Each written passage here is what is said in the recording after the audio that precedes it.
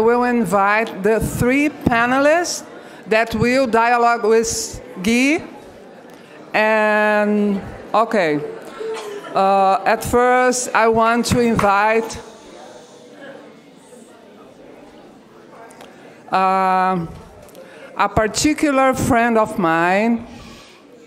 She is psychologist, master clinical psychologist, IIBA international trainer, member of IABSP, Instituto de Análise Bioenergética de São Paulo. Also trained in Core Energetic, Family Therapy, NLP, Timeline Therapy, Systemic Constellation, and she works in a private office in São Paulo, Brazil, and teaches bioenergetic analysis in several cities of Brazil, as well as teaches in core energetic in Brasilia. Author of a book, Grounding and Autonomy. With you, Odila Weigand.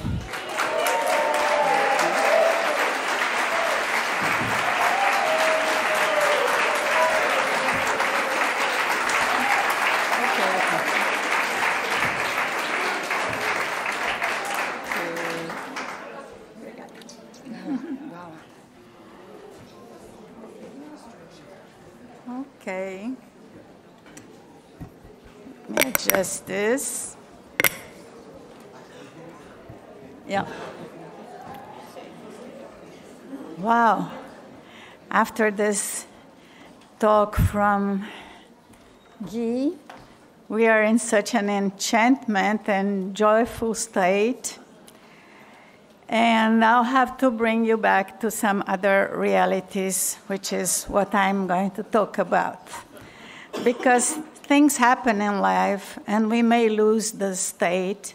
And then, as we saw with the different uh, roles of the therapist, the different functions of the therapist, luckily, we can count on our own brains uh, plasticity to recover and the therapy help. So, I'm going to approach the subject looking at the life force and how it derives from the body and sustains the life of mind and spirit, as Lowen taught us and Guy has expanded today so wonderfully. In bioenergetic analysis, we have focused on the body's role of creating, holding, charging, discharging, and regulating the life force. And this is what I want to talk about here in our conversation, highlighting the reparative property of our memory to restore and free the life force after a traumatic event. I have been in bioenergetics for more than 35 years and followed for the different evolutions that happened in the meantime we have been involved in finding out the best ways to combine top down and bottom up strategies in our personal and clinical work to maintain or recover nervous system self regulation, with the goal of healing developmental traumas or traumas caused by particular events. I want to share a violent trauma experience I lived through and what I learned on the way to recover my life force. The first lesson that I learned from this experience was about the order and the sequence of the different psychotherapeutic approaches.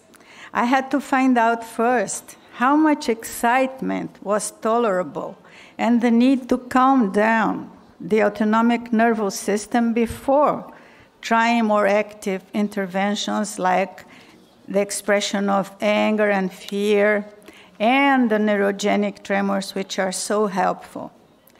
In my experience, when I first tried the neurogenic tremors, or what we call vibrations in bioenergetics, much earlier than this term appeared, I felt that the excitement that rose it rose to an unbearable level.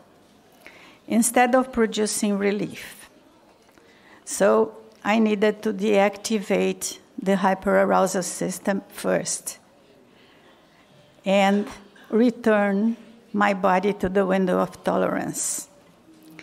After relaxation, stretching, hypnosis, I could express some anger with my therapist, but it was not yet a solution. The second thing I lived through after that experience was about the possibility to introduce new reparative memories in the process of recovery, reconciliation, and re-encoding of a traumatic memory.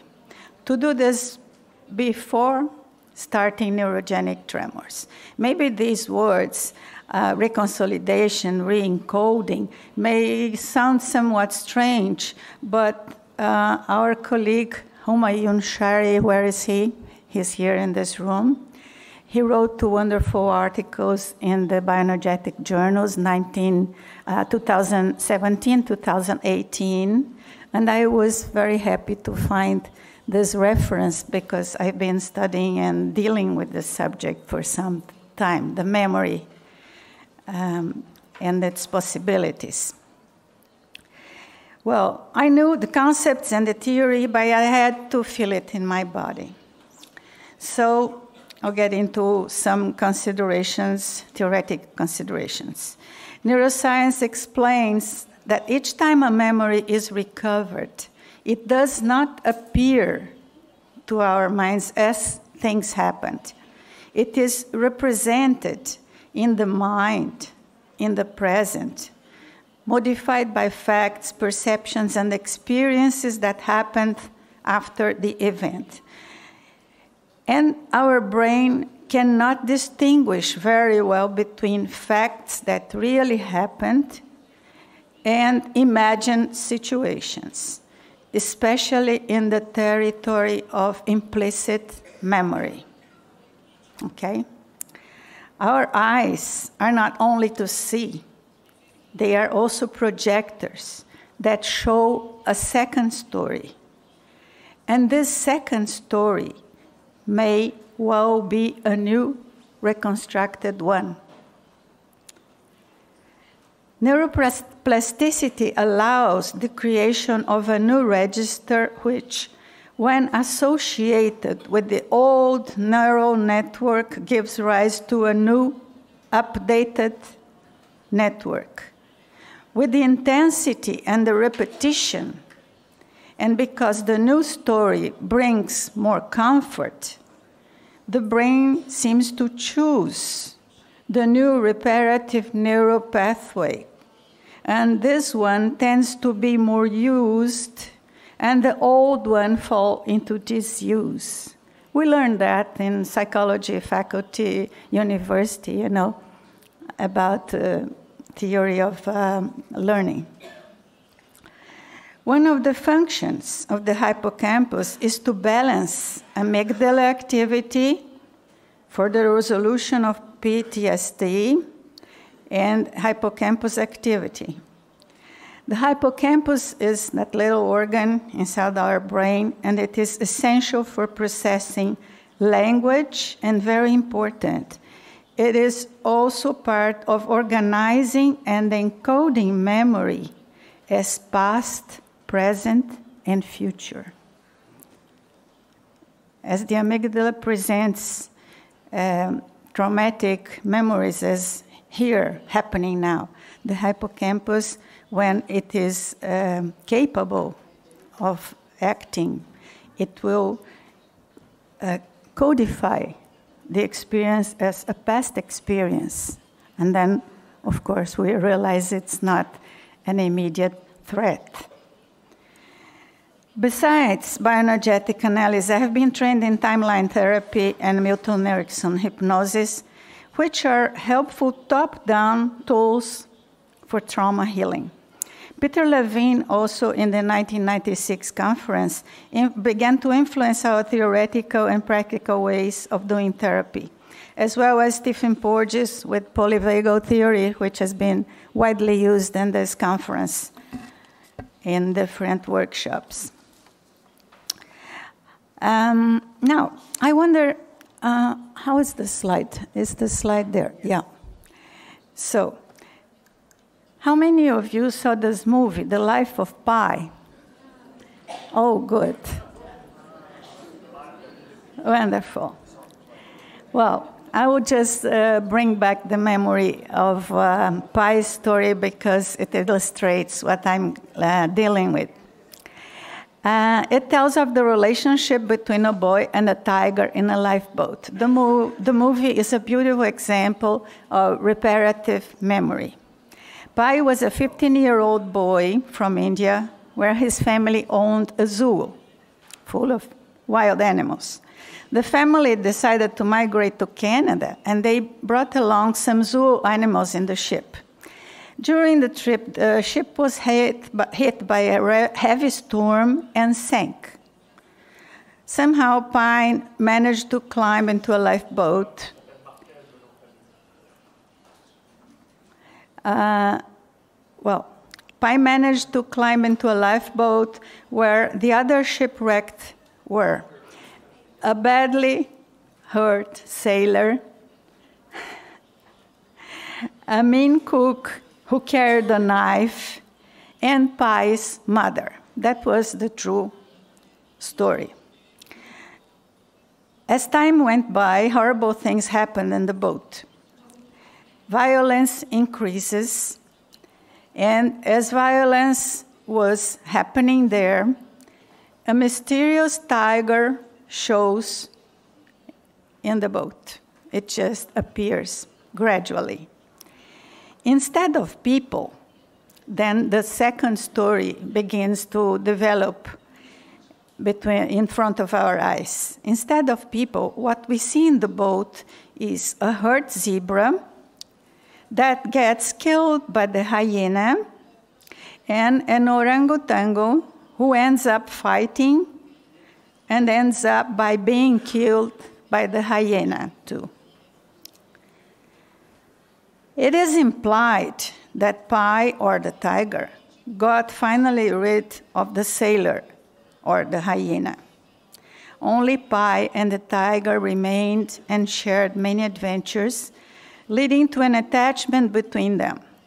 227 days passed before the boat reached a beach on the Mexican coast. As Pi is rescued, this tiger just disappears through the bushes, didn't look back, never to return. An attachment had been built between Pi and his tiger. Then the movie brings us to the final scenes when Pi is telling the story to a reporter who uh, seeked him to write the story.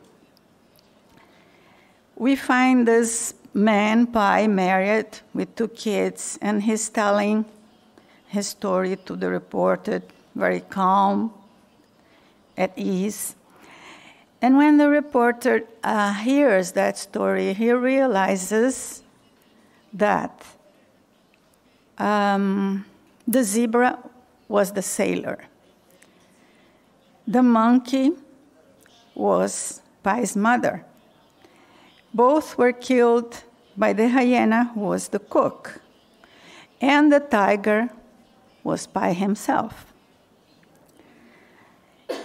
And we see that Pi looks at this report and nods, calmly smiles, and says, Which story do you prefer?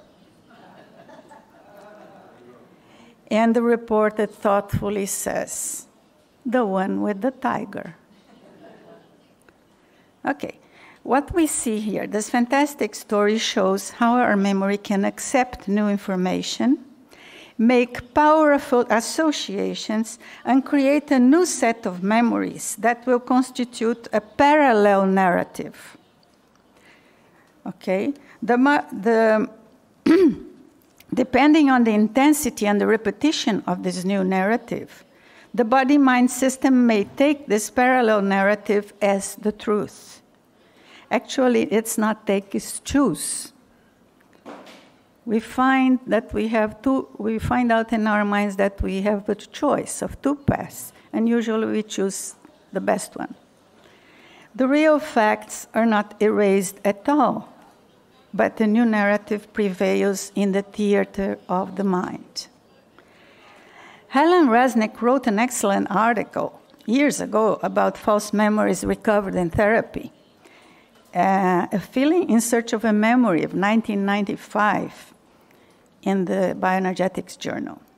It is a wonderful paper to teach about sexual abuse. Helen describes how a woman recovered in therapy a memory of herself when she was 13, in which she believed that her father had abused her. Later in court, this claim was proved false, but it caused much suffering to that family. But it's also an illustration of how a second story may become the truth for the person who is convinced about it and who creates a livid uh, image of a second story. Well, grounded on the research about false memories, we may believe in the possibility of consciously applying techniques to promote reparative memories. It is not a magical trick. The same brain's ability and plasticity used to create and believe in false memories may create new healing reparative memories that can arise either spontaneously or be stimulated or even suggested in the therapy setting, which, of course, is a, setting where there is support, trust, safety. We are challenged to explore this wonderful healing tool our brains developed for the good or for the worse. Um, Peter Levine, in his book Memory and Trauma, has a chapter called Memory, Gift, and Curse. It's a very good book. It's uh, more recent, 2015. It's good to read it and uh, learn about memory the way he explains it. And then we have Homayoun Shahri from California, who wrote those two articles in the 2017 and 18 speaking of his own experience with new healing reconsolidated memories. But he was um, describing how he dealt with his own developmental trauma, which is different from a traumatic event I'm talking about here. I want to share an understanding that came from my own experience recovering from an assault and robbery I went through in my house four and a half years ago, and a healing hallucination that came to my mind's eyes as a second story. And it felt like watching a very real silent movie to find this second story. It was the middle of a summer vacation at 1:30 p.m. I was sitting at the dining room table reading calmly a newspaper like I'm reading here when suddenly three men materialized in front of me. They had broken into the house and they had pistols. I was immediately held and had the gun put to my head and threats like it costs me nothing to kill you right now and so on and so on. Well, in those situations, time seems to pass in slow motion. But the only thing I could think for myself was how to be safe by being, giving up any idea of reaction. So I froze into submission. However, luckily, my husband was upstairs. He had heard when they broke to the gate. He had locked himself and he began to phone the police. So after 10 or 15 minutes that they went around the house with me, gun on my head, uh, they wanted to go up and uh, find out who, who else might be in the house, so we came to his door. The door was locked. And they began to kick the door, but they could hear through the door that my husband was there screaming on the telephone, send the police here, we're being assaulted, so on and so on. Of course, he was screaming very loud through the door. So the, they heard it and realized, well, the alarm has been set, no way um, there is nothing else to do here. And also, another lucky event that we have a security car service in the neighborhood.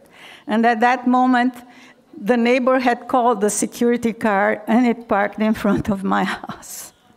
So the, the other part of the group who was outside probably told them on the phone that security card is here, you better get out of there soon before the police arrives. So they turned, and immediately those three men were running out of the house. And I can hear the noise of those three men running down. There is a ramp, not stairs, and they were running down. Um, like a stampede.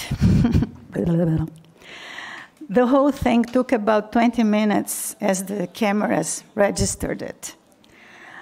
Of course, after that, I was looking for help and found it in a colleague who was an expert in emotional freedom technique, EFT. It is that technique that deals with tappings like that, you know, in different parts of the body, and uh, you, you were directed to say several phrases very rapidly, so it creates a kind of confusion in your brain, and of course, that accesses the implicit memory. At the end of about 20 minutes of that session, uh, I had a clear hallucination that came before my eyes. It was like a short but very spontaneous and funny video. You'll see that. As the three men were running out of the house, I saw myself with the broomstick in my hands, and I was just calmly sweeping them out like that. I felt no anger, no high excitement there on the video. Just doing that. Simple, natural, sweeping them out of the house. As I became aware that this hallucination was coming to me, I immediately realized, aha, that's what really needs to happen in this situation. So I took it for myself. okay, that dissociated image I, I associated with it. And it was very funny, really. And this is the memory that persisted, and the, the one with the broom. Every time I recall the story, it's crazy. Um, as Guy was speaking, uh, I, I associate that with the function of representation that our brain is capable of. The dissociation here serves to witness the scene as part of the theater of the mind, keeping a safe distance to avoid the body feelings of utter helplessness, panic, and, and pain.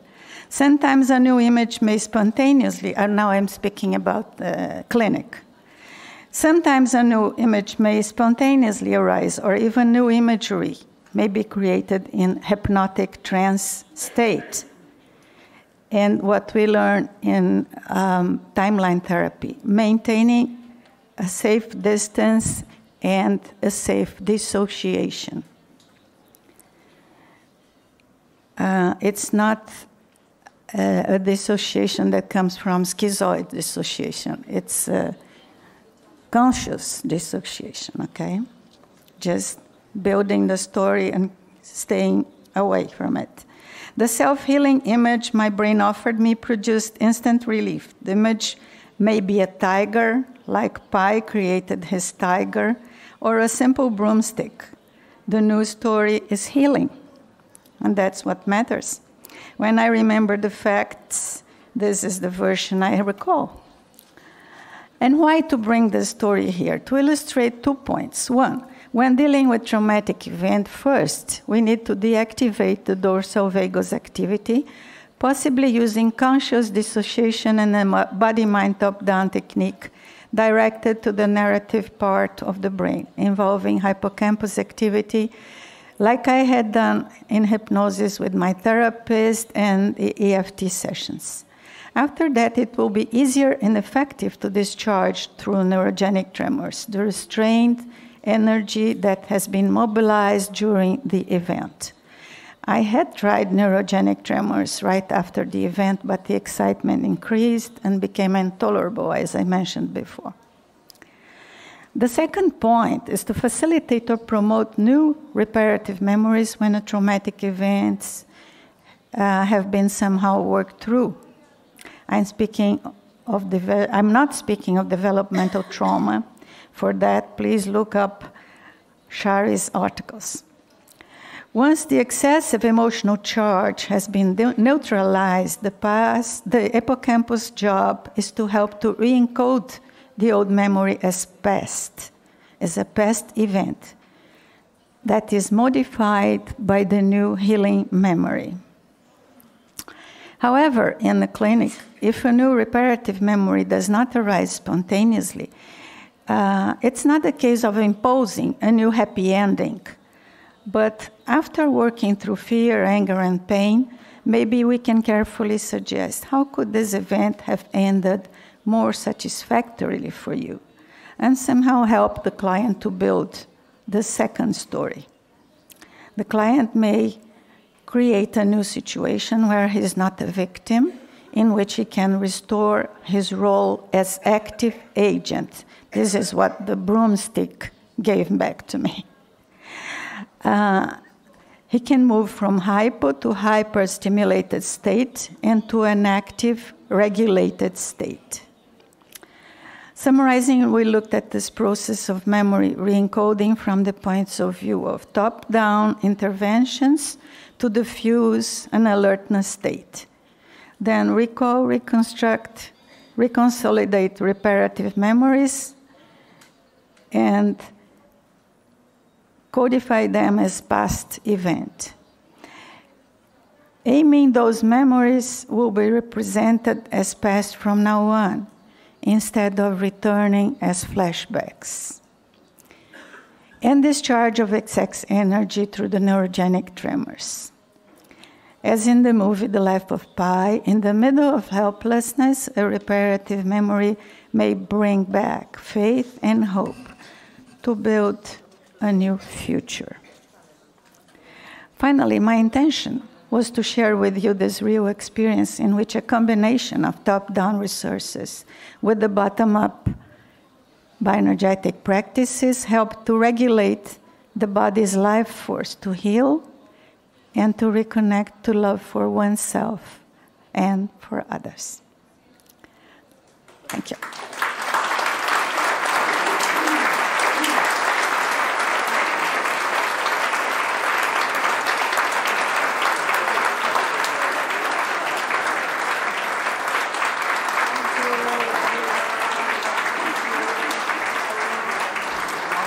Thank you, Odila, for the wonderful speech. And now I will ask for the second panelist, and she is a psychologist, psychotherapist, IIBA international trainer, and IIBA faculty member since 2006. She is the director of SIAB Italian Society of Bioenergetic Analysis, past president of SIP, Italian Society of Psychotherapy. She is FIAP delegate for the European Association of Psychotherapy, former and senior trainer also in the person-centered approach.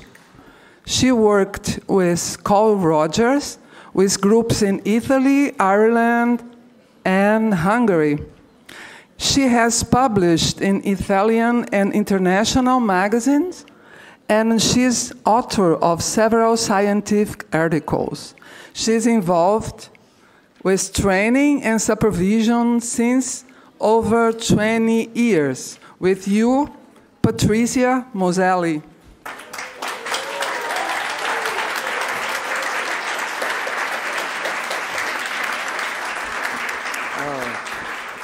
Ok.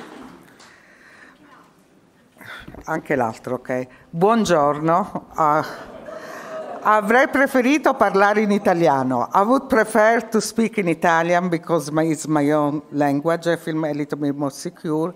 But I will try to do my best. So be patient with my English because it's a kind of Napolitan English or Italian English. We will see. but uh, I want to go back to um, presentation because I think it was beautiful It was very inspiring for us as a bioenergetic uh, community. So I will start with that. Uh, because I was inspired by him music.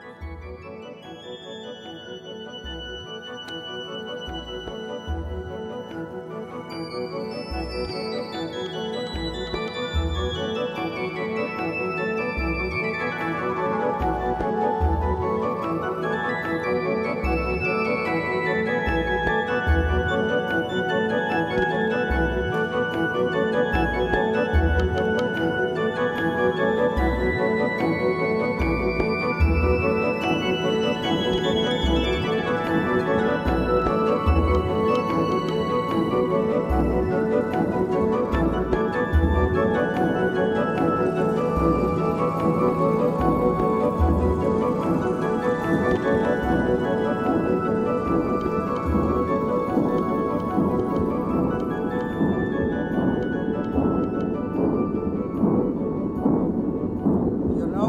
that? For echography of a pregnant woman.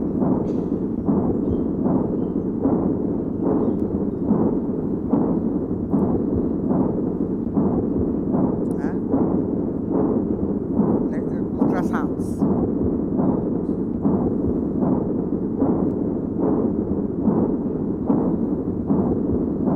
So I finished. We'll go over. So I think that is our big bang in some sense because everything started for us from here. And uh, as uh, when I was uh, listening, uh, because Guy uh, gave to us uh, his speech in Italian, and that was very inspiring for me. I was at the same time I was reading uh, Morin books because we were invited him in uh, our conference in Italy. And so this was a very strange case of synchronicity because this man is very old but is very inspiring. And also Guy told me that he's been inspired by the thought of the Morin since many, many years. So I think we have also to take the challenge of Morin, that is the the author of the essay of complexity, because I think we have to think in a global way as a energetic therapist, and especially in what Morin called the planetary humanism. So we must consider globality, as uh, Guy has us, because globality is a kind of challenge to complexity. So uh, we have to be open also, I think, to new knowledge. That is the big challenge that we have now as a bioenergetic therapist. And I think Guy give us a very beautiful way how to put complexity together, how to put scientific thought with very emotional and sensational when they use the sound, for example. So I think we really have to train us as a bioenergetic therapist to think and not to have them to stay linked to a very simple way to understand bioenergetics. Also, like uh, George Darwin at the Memorial Lowen remind us to not to see just a simple theo- theory that will go and try to control the whole reality, but be open to a new kind of, of see the complexity of the human being, and uh, we don't have to think that we can control the reality, especially nowadays that are very complicated. Psychopathologic change, everything change, so we have to be flexible and to have a thought that able us to dialogue with the reality and to negotiate with the reality in a sense. But also we have to dispel some illusion that First of all, we cannot think that complexity means to elimination of simplicity, because sometimes we have to be very simple and basic, also rooted in our way of thinking. Because reality also contain also duplicity, and so as a human being is complex because contain duplicity. A humanity is not just animality, we know, but there is no anim- uh, humanity without animality. We know very well that, so we have to go back to our roots.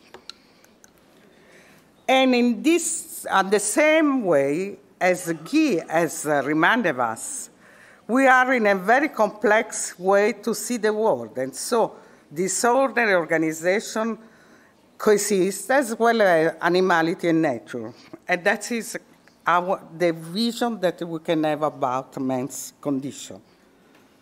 And we know that man is like both biophysical, but also psychological, socio-cultural one. And those three dimensions, they have to always be dialogating to each other. Uh, Lowen has reminded us that we were born by cosmos, nature, life. And because of our culture and, mi- and mind, in a sense, we became strange to the, this universe. So, again, complexity help us to make this conjunction. And so we have, we have to ask ourselves, for example, if we think uh, a little bit more in a complex way, not in a simple way, and the big question are how to make the old coexist with the new. And the old are the basic theory would also reflect in the evolution of bioenergetics, for example.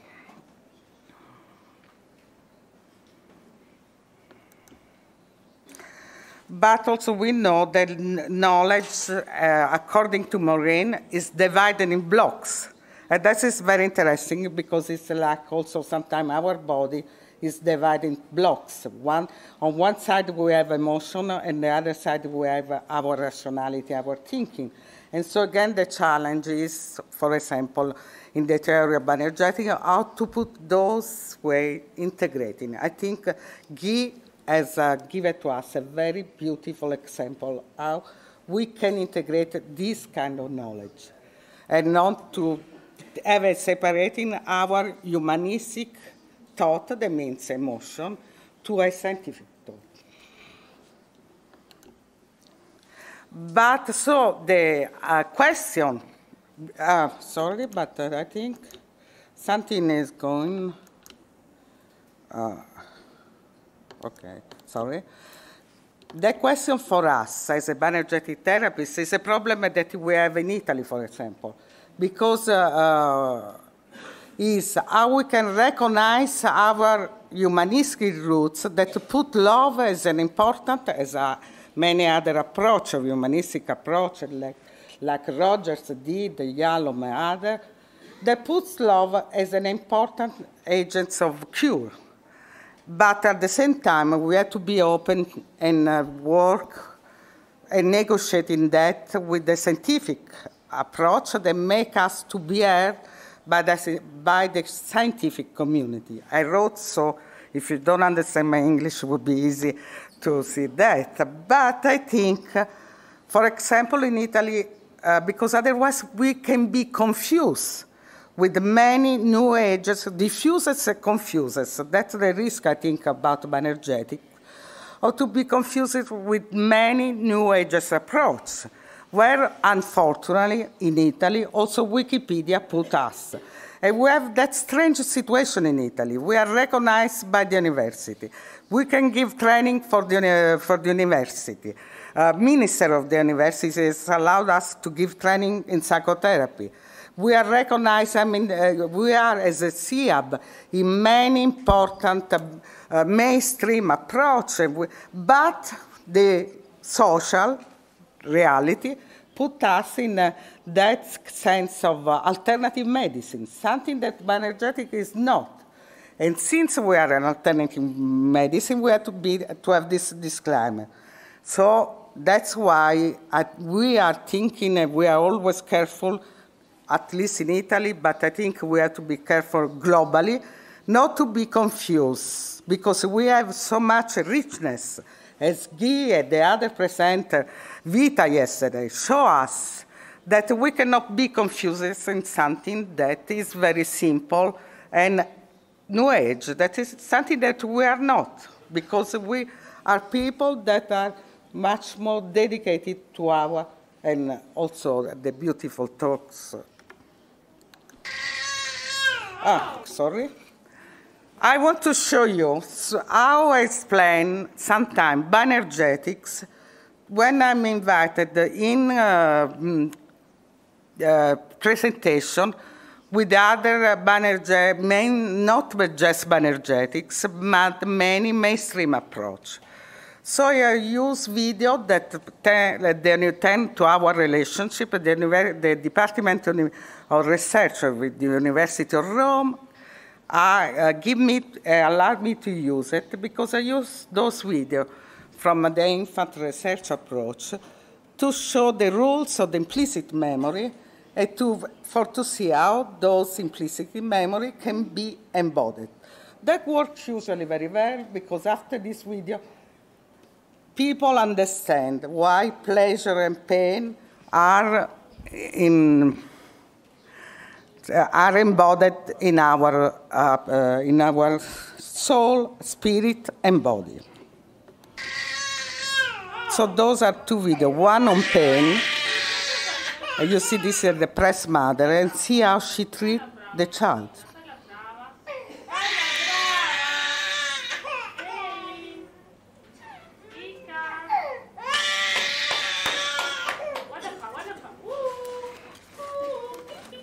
She doesn't have any contact. And look how she used the body with no torment with the child.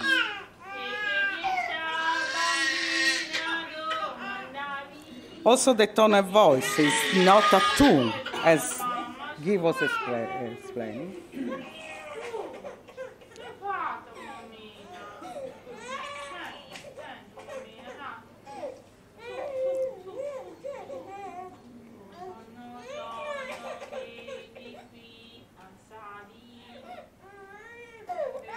I see the pain in the child.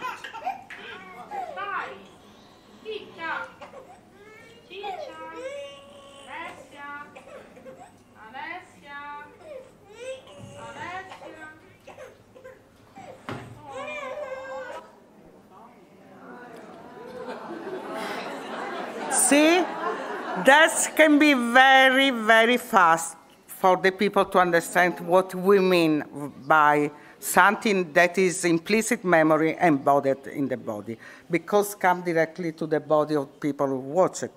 Now, so... Fra un po' esci, fra un po' esci. Sì? Aiuto, aiuto. Lasciami lasciami. Oh. Po, po, po, po, po.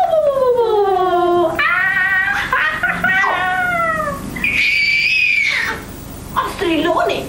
Ma sei uno strillone ciao ciao! Sei uno strillone ciao ciao! Tu tante sonne, flaghetto! Da da! Ti sono mancata! Ti sono mancata questi due minuti! Ma no! Ma no! Eh sì, eh! Un pochino poco poco! Un pochino poco poco! Ma non lo so. See?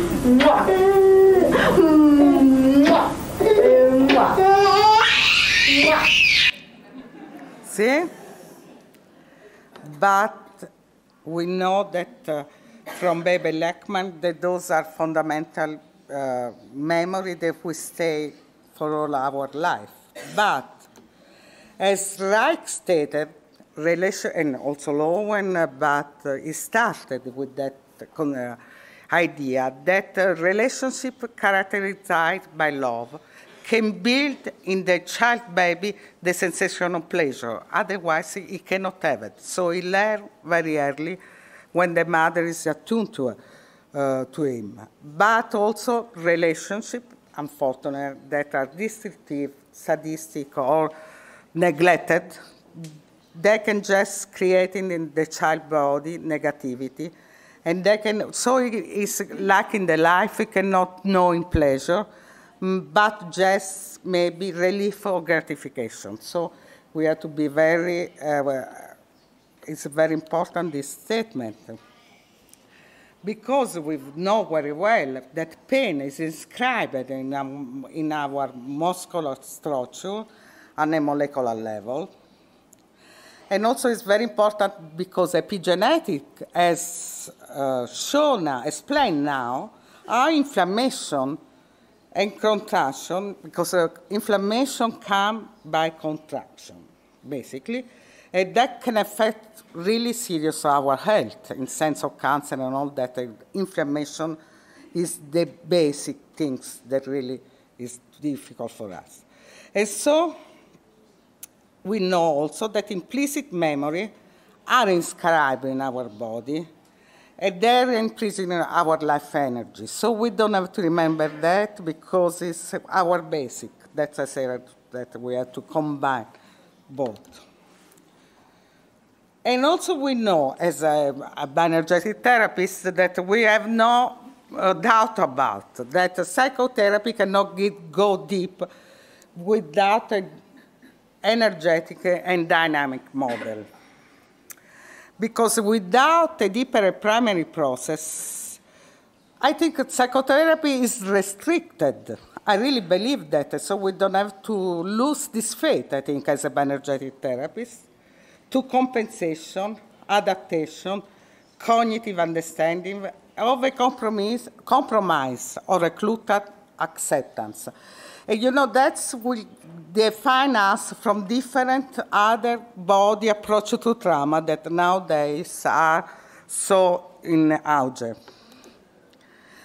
So the big question is how we can restore the life force in the, to the reality, how we can mobilize still stagnant contracted energy, still that how to restore pulsation in the body, how to work with energy concretely in a therapeutic field. I think those are very basic questions that are still simple but very deep, and we still have to do to see in this way.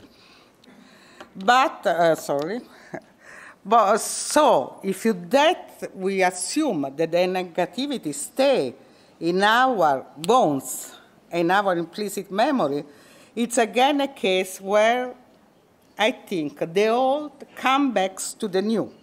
Because since the beginning, we are being expert, not also all the bioenergetic community, in dealing with negativity and resistance. So, we don't have to be afraid of that because we are really expert much more than other people are. And so we have to see that dance between new and old, what is our grounding, the, the, what are the new idea, because we don't have to um, refuse our straight. And um, in that sense, I think that uh, uh, Guy already answered to, in a beautiful way to all these questions, because I think he put together and when he said that the, the, other people are envious in the way that we know, I think he did a big statement in this community. I really thank him for to do that.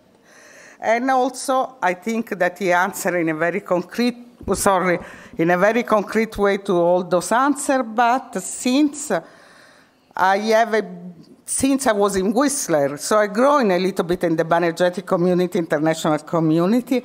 I have also, I want to mention in this. Uh, plenary session my uh, respect and love for Ben Shapiro because I think uh, he's one of the most creative uh, thinking in bioenergetics.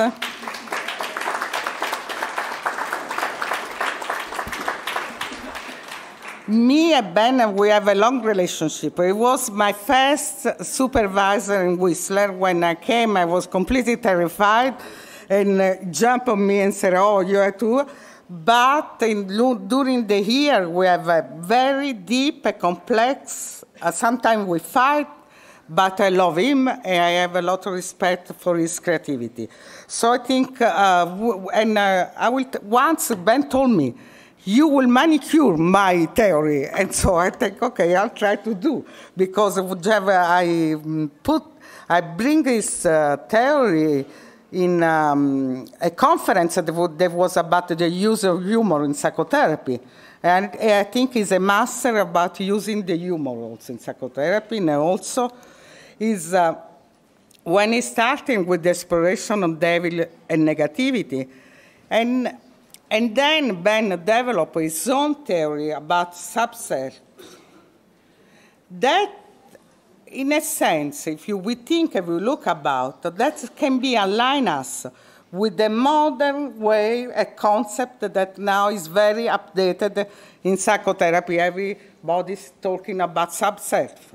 And this also put us able, theory about subselves, about, uh, make us able to dialogue with many trauma therapy, like Ogden, especially the Fisher and the subselves the dissociating self. And as I said, there is also a master using the humor in psychotherapy. I want to quote him Sub-self are an island of shock, fear, pain, anger, formed in the childhood. They protect us from being threatened again and they have a lot of energy. So that is the core. And that's the way that it also, in a sense, uh, is different from other approach that working with the dissociating uh, differentiated uh, subself. Because each subself have its own body and psychological characteristic for Ben and they can be expressed that in a bioenergetic way. That means that is a master how to charge contain the energy. That means how to build in the body the possibility to have a greater energy and so to be more aligned to the life force. I think that is really important. But we have also to remember, and so again, the complexity that, uh, like Guy, use a very fascinating metaphor that from the fair point.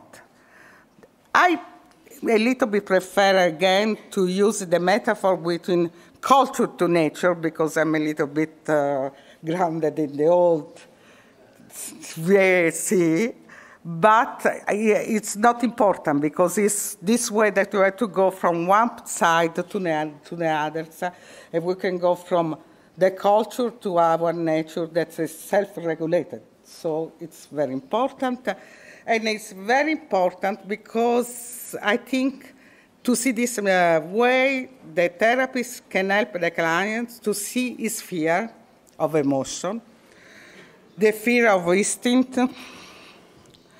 and especially he built, that is a big energetic movement, I think, the trust to remain, to have an identity. Because if you, we have a body, we have also an identity in reality. So that is very, very important. But sometimes in the new nowadays, I think we have to face the fact that uh, sometimes our clients have lost the ability to deal with reality.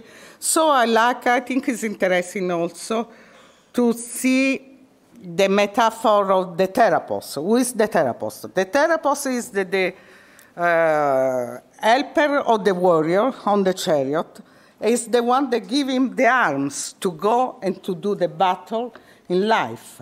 And so it's not him that does something for the patient, that is my general roots, but it's the client that do the work for himself. I think that is very important also. So we can see psychotherapy also as an epic travel. We can look, because sometimes, especially um, social media, they try in this narcissistic work, they try to avoid the conflict. Everything has to be very nice, simple, we want to be nice to each other, and, and that's, uh, in a sense, that is also a complexity that we have to look. It seems like the people try to escape from the tragedy of life, but unfortunately, life is also tragic, pain, and other things. So I think we can see also the therapy uh, like an and uh, the client, like an epic hero, that goes through the tragedy of his life. I think that is very important because otherwise, if he is escaping from tragedy, as Reich was stated, he will find just, yes, release, but also dissociation. So we have to be very clear about to also to make our client to confront of what is difficult in life. And so that the whole comebacks also, and is a reflection about an healthy aggressivity. And so everything, everybody would like to have that hat when we were child, uh, to combat the angels in our childhood. But I think it's very important because if you go to the Latin word aggredior means that there is a lot of energy in that, and we don't have to lose that sense. It's important, but so we don't have also to be afraid of people that have that in their genius. They're like because that came from my family. I'm very grateful to my family because we fight and then we love. We, it's Napolitan, so we scream and then we make love. We, we fight and then we make joke. And that is a part of life and goes into my, it's my way to understand love. Also, when I get angry also with the community of energetics, for me means that I love them. Otherwise, I will be detached. I, don't, I will not care about. That goes to my idea. So it's also an occasion to show a little bit of me on that.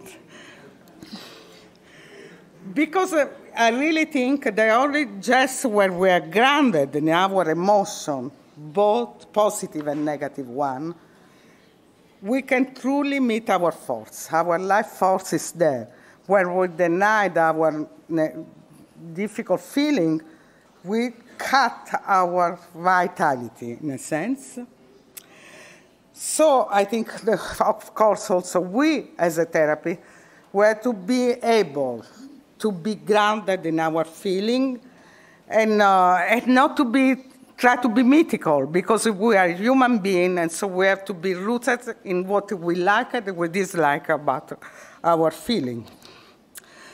And so uh, then I think three important challenges that Edgar Morin put to the attention of educator and since we are international trainer, but also therapists, we had to take this challenge, I think, because I think they are very important. One is the cultural change that put us the question, how we make,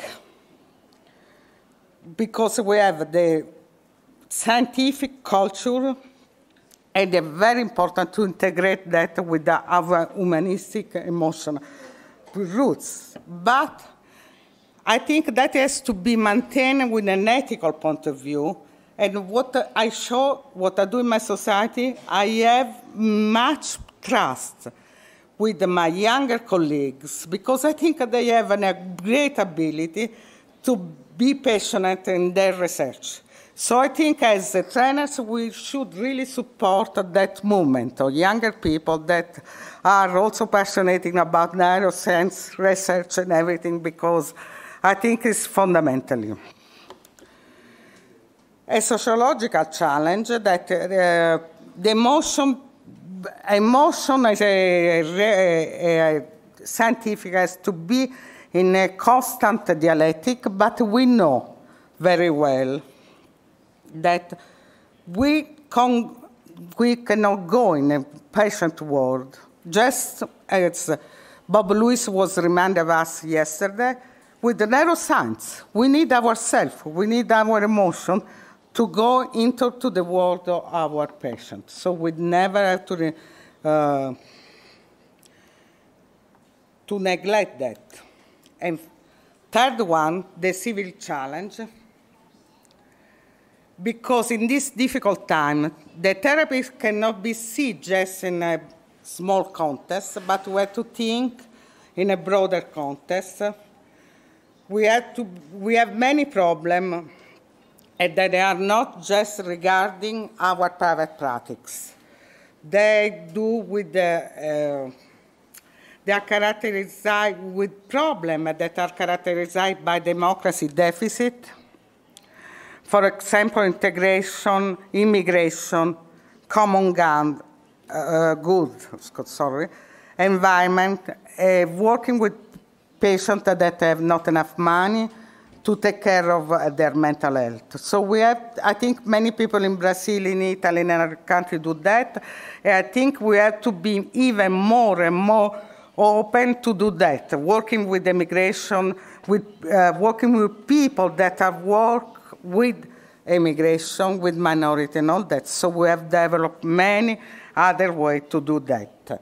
But uh, also, to go back, we have to remember that basically what we do now in bioenergetics is going slowly, building trust connection, transmitting empathic resonance, helping the client to find their own locus of control in the body.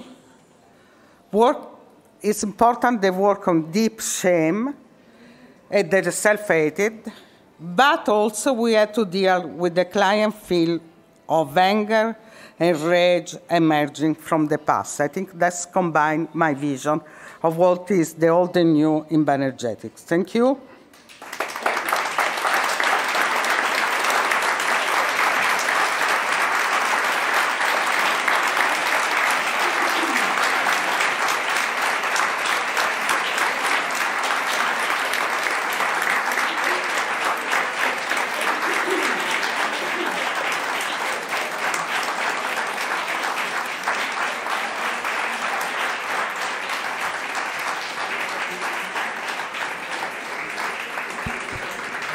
Thank you. Thank you, Patrizia, for your speech. Oh. Um, uh, now I will invite our third panelist that I recently knew her life force and who was with Bob Lewis yesterday knows what I am talking. Yeah. He, and she is a master guide and counselor director of training from NZSBA and has a private practice in Wellington, New Zealand. She has provided input at IIBA conferences on trauma and relational trauma. And, in, and she is interested in how neuroscience underpins early development, emotion, affect, regulation, and the power of the heart. With you, Pye Bowden.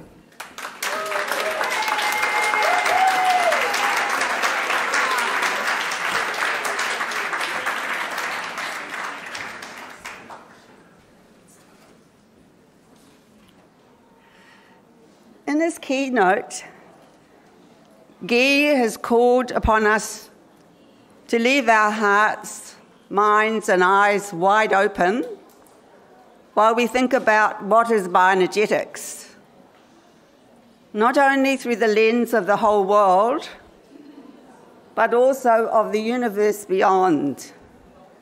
And not only through the vast spaces amongst and beyond the stars, but also down into the heart of nature and its invisible particles of matter. Oh, and everything in between. Guy also reminds us as bioenergetic therapists to remember and deeply recognize all this because it is engraved in us, in our physical chemical properties, our vital pulsations, and our corporal, corporal rhythms. In other words, we humans are all this. And furthermore, he points out that bioenergetics took on the shape it did because Reich and later Lowen relentlessly traced this profound force that bound us all together. They called it bioenergy, energy of the universe converted into biological energy, and it became the home of bioenergetics, bioenergetic analysis. While Guy has point, seemed to point our way to everything, as we've seen, there is much more in the pages of his keynote. For instance, he seems to have produced an updated version of the fundamental bioenergetic concepts, basing them on the radical principles of the, of the life force itself. Guy's keynote also has the feeling of including us all, since it seemed homed by his years and years on the road and by the multitude of countries, societies, cultures, and races that he has immersed himself in and seen so deeply. And so, for me, his presentation today feels a little bit like a Christmas stocking filled with many gifts. Learning from his travels in lands near and far away that we can read again and again to renew our inspiration in bioenergetics. For the, I'm leaving out the next paragraph for those translating.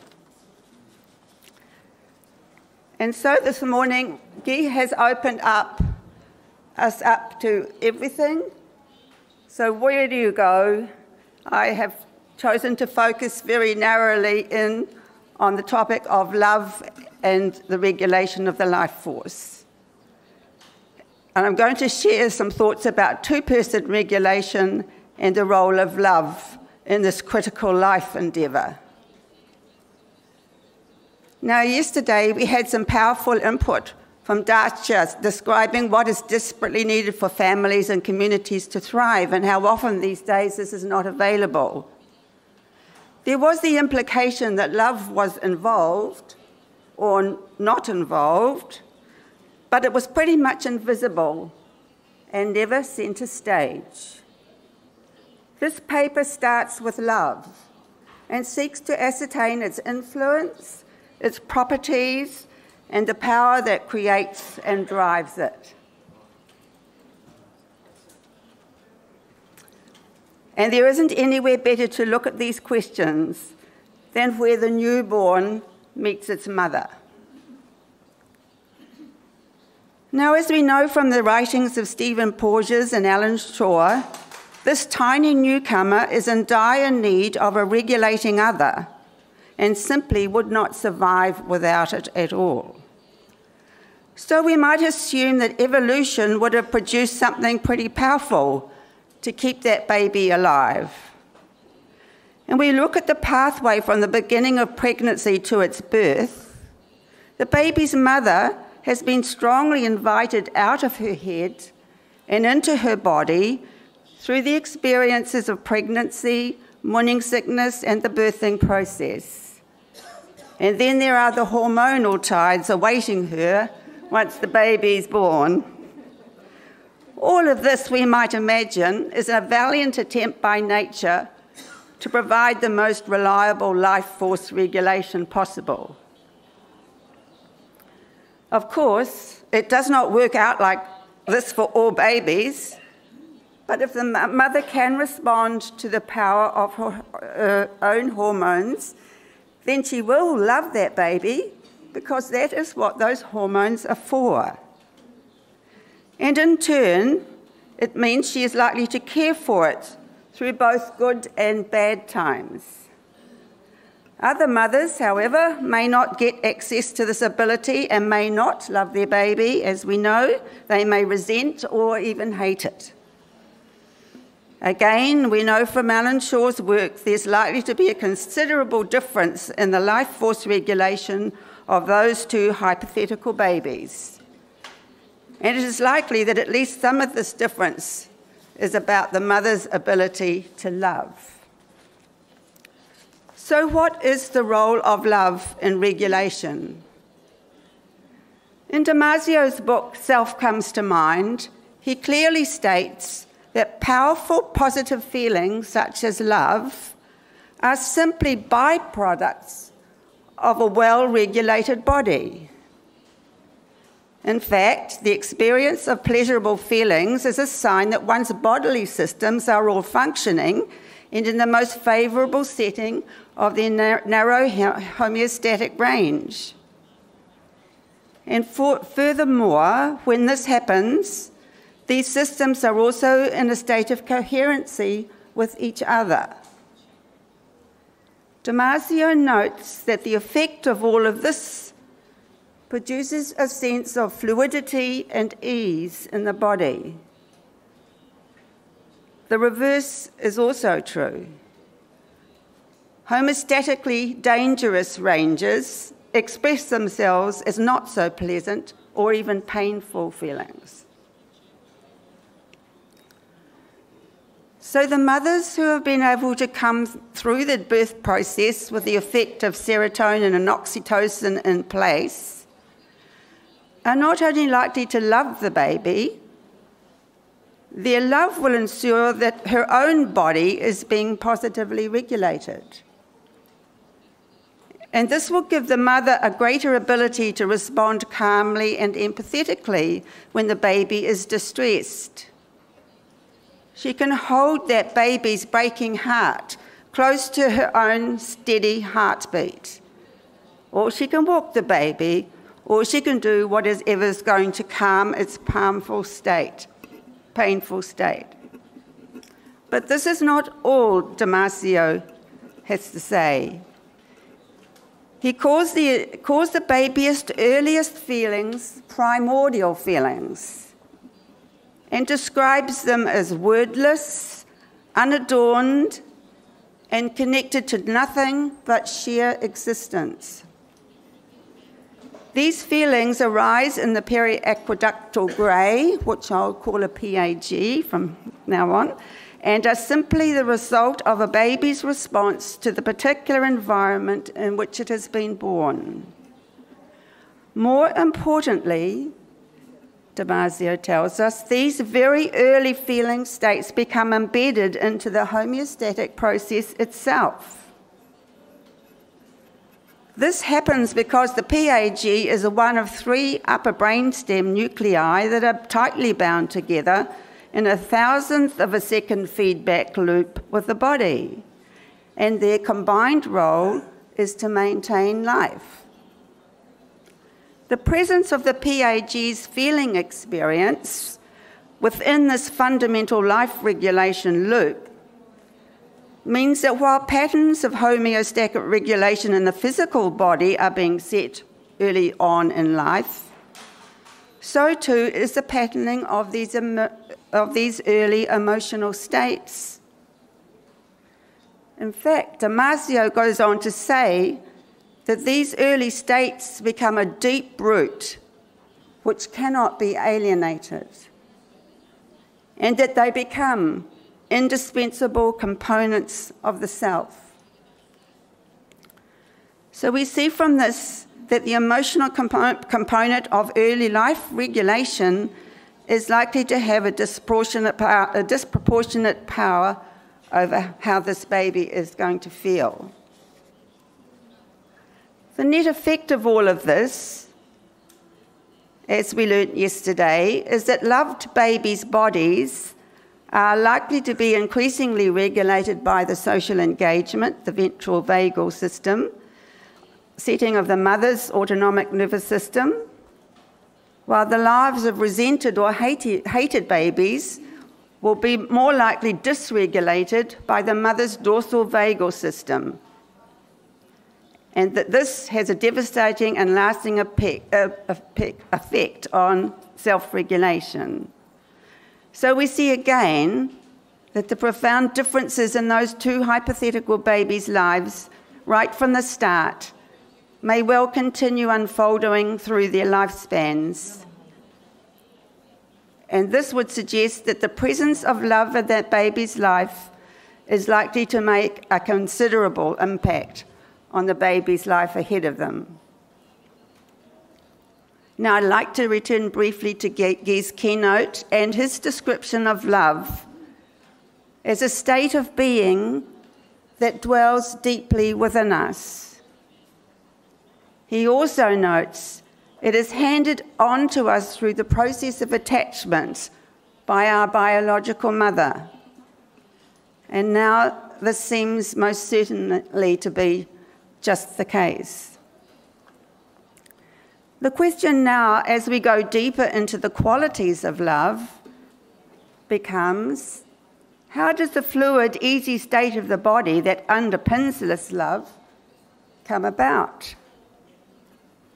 We know that the autonomic nervous system is the deepest layer in this process, but how might this state get organized in the body proper?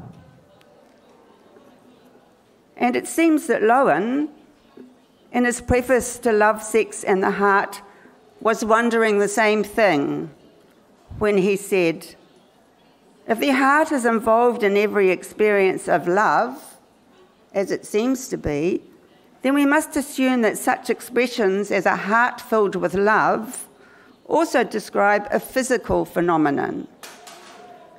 And then he adds, although hearts do not fall to pieces when love is rejected or a loved one is lost, clearly something breaks in this situation. So now we have one answer.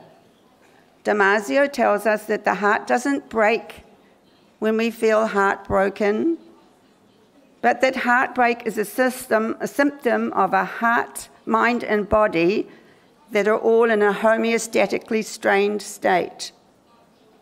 This creates deregulation, he says, and plunges us into one of those not so pleasant or even painful feelings. Yes, indeed. The second question is how is it that these total body events come so miraculously together?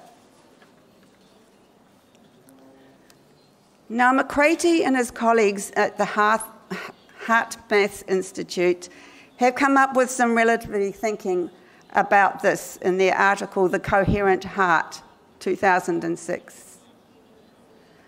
This paper describes their first 10 years of research and how they were mindful of Damasio's position that negative and positive emotional feelings are created by negative and positive body states.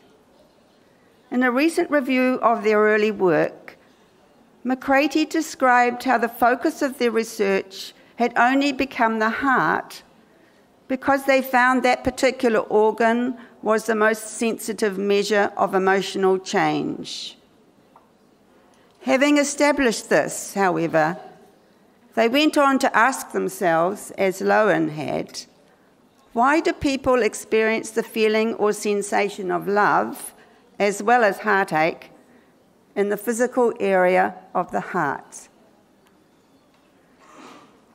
To find answers to this more fundamental question, McCraty and colleagues described how they carried out detailed research focusing on such measurements as the EEG, the brain waves, skin conductance, heart rate, blood pressure, and hormone levels.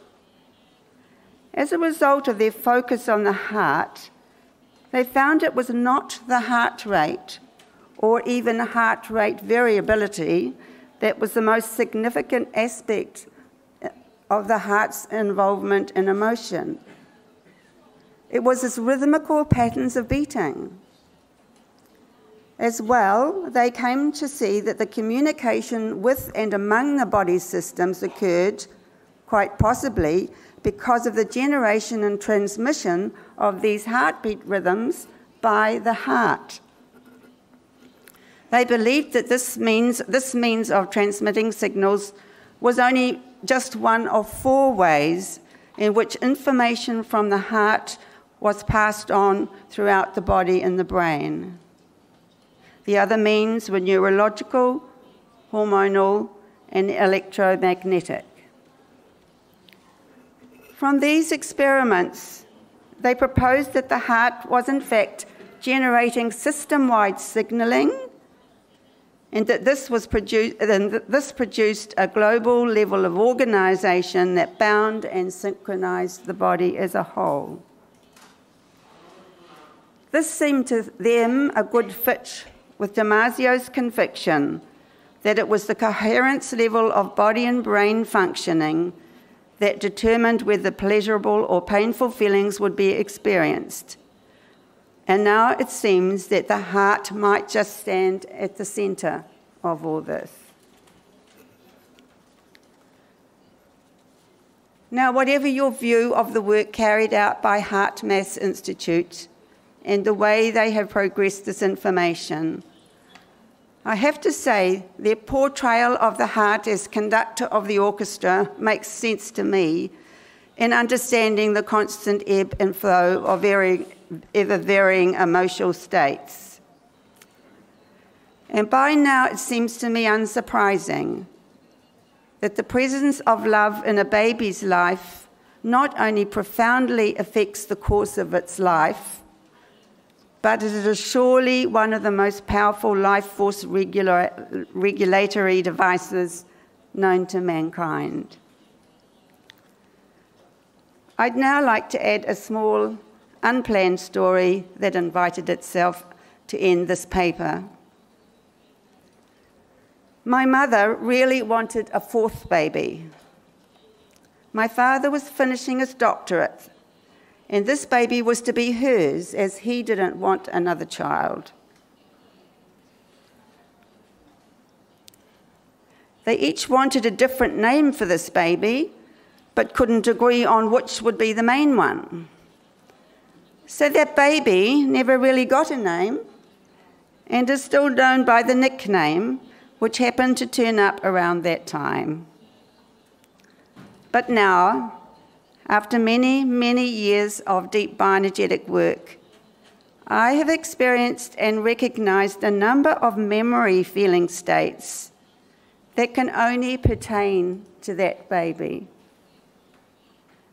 In each, there is the absolute, absolute absence of words, the utter helplessness of being a bundle that could be handed around at will in the simplicity of beingness and somehow a knowing.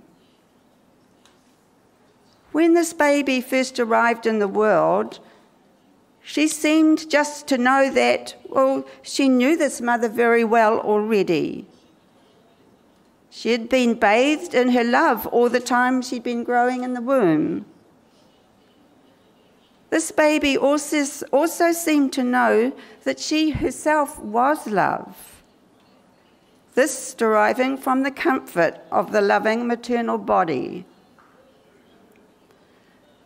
Now, my mother told me many years later that when she first saw me, there was something about me, and it seemed to be I was saying, Here am I.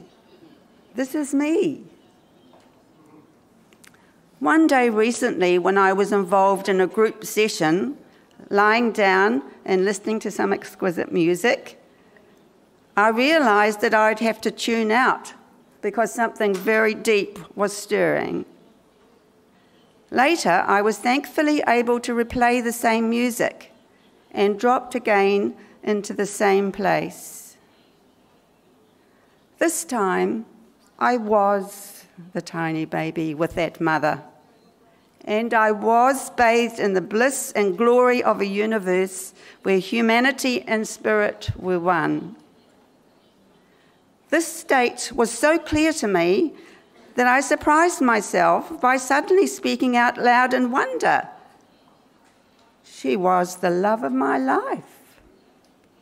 And in that instance, recognized all the terrible failures of connection that I had experienced throughout much of it.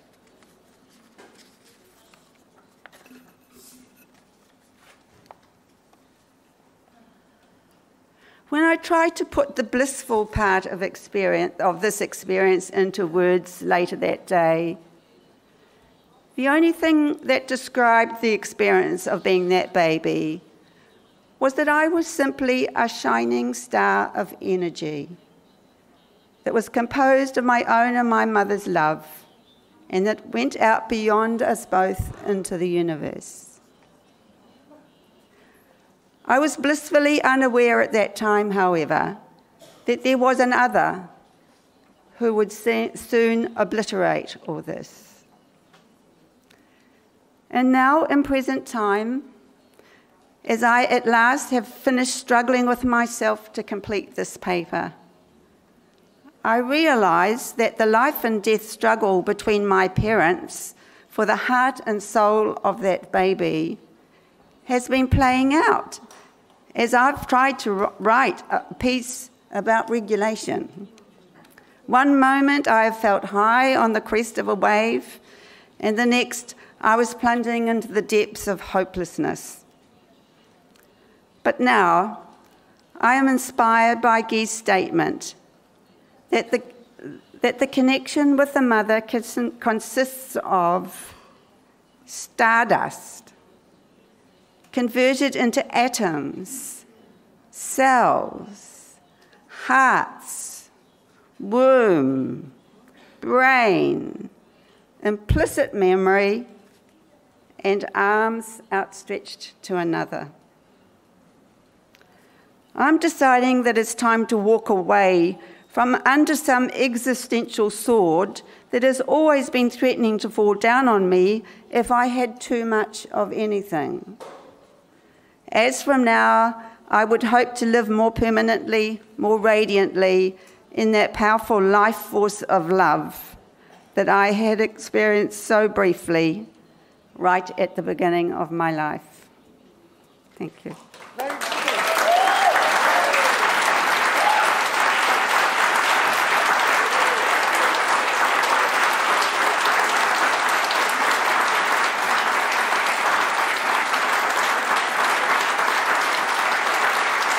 Uh, first question to Guy.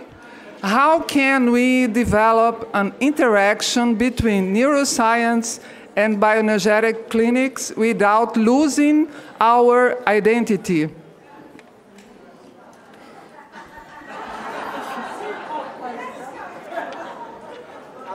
The other is all. Two minutes. Two minutes. Just two minutes. Come. Ah, the, the, the microphone.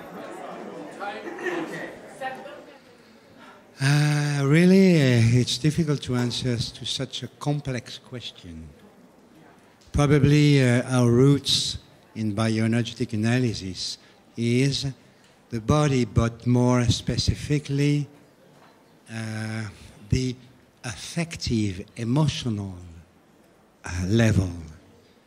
Uh, I guess we are trying in bioenergetic analysis to bring together our mammalian roots and our specific uh, existence as human beings. That means the capacity to think, to imagine, to symbolize, to create arts and cultures. So when you ask how to how to investigate about that, would it be hard? We have yet some important investigations. They are not specifically in bioenergetic analysis, but they are in some levels we are uh, working in, in the, in the emotional level, in the deeply inside, more in, in, the, in the nervous level, in the autonomic nervous system level with Porges, with Siegel, with Damasio, and so on. I think we would have today to take time together, or some of us, to take that time to take the, these results of investigation to put it together uh, and to say, well, how we work in bioenergetic analysis has been uh, with that, that, that, and that research. And maybe we can, from that, discover what we would need specifically us as bioenergetic analysis to expand, you know. But uh, first, uh, I think that we have to put together many things that have been yet demonstrated, and from that, to organize a perspective, a very bioenergetic investigation perspective.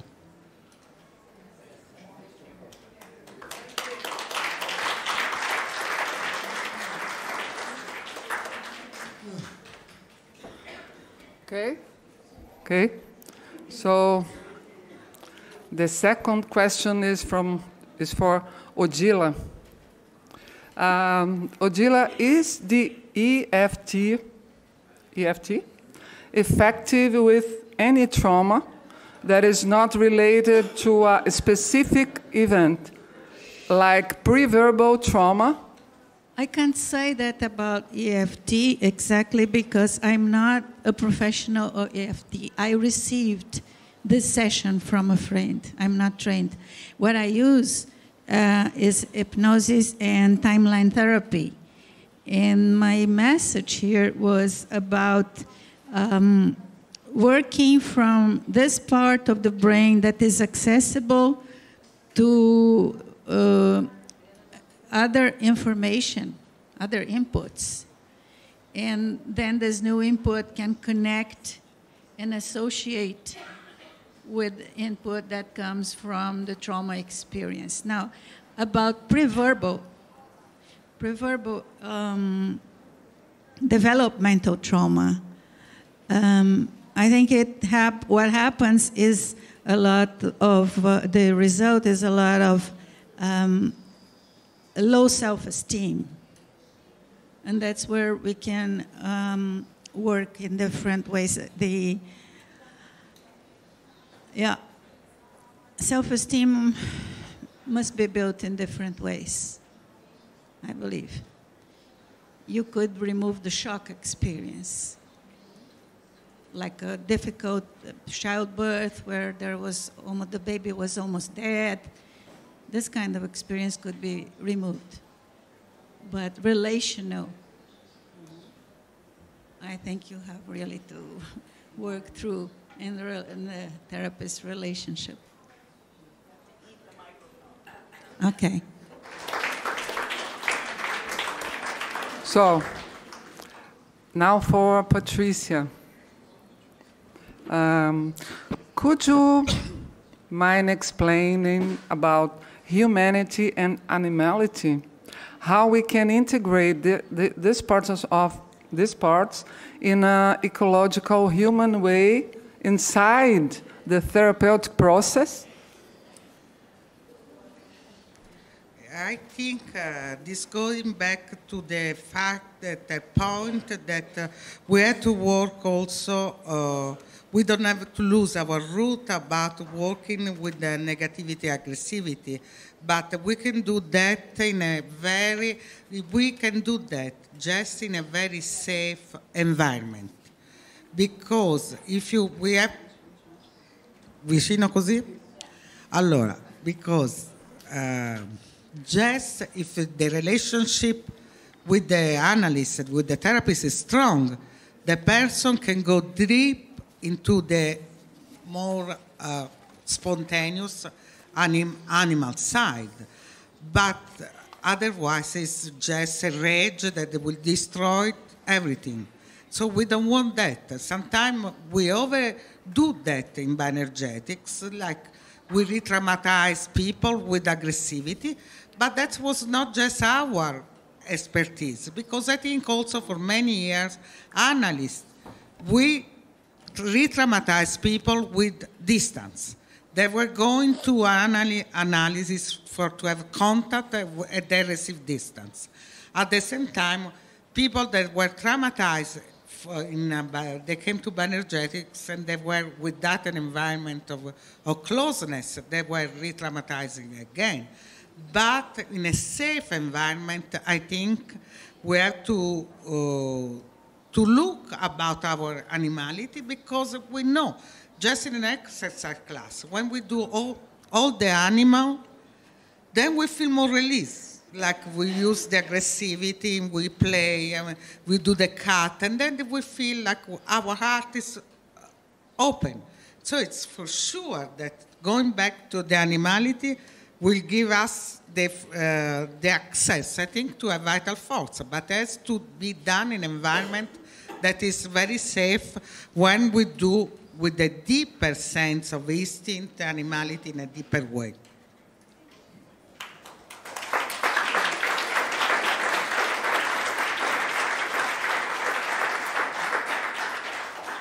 For Pi, Pi, okay, what we can do as bioenergetic therapists and community to make this world better as low-priced sessions and classes may be not enough. Well, I think that somebody from South America should probably be uh, answering this, however, like that. From the perspective of where I was coming from this morning, uh, I believe that we need to be more, keep working at our embodiment, becoming more in our bodies, because the energy goes out around.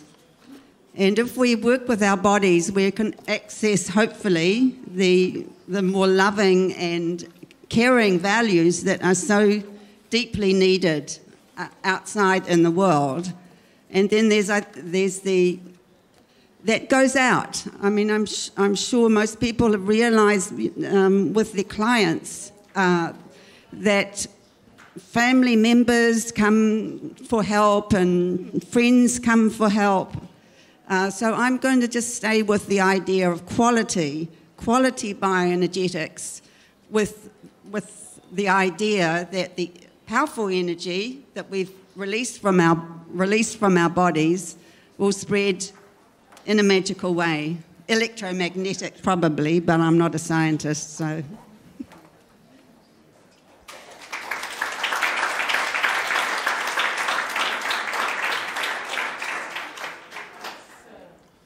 I have a bad news because the time is running and we have to finish.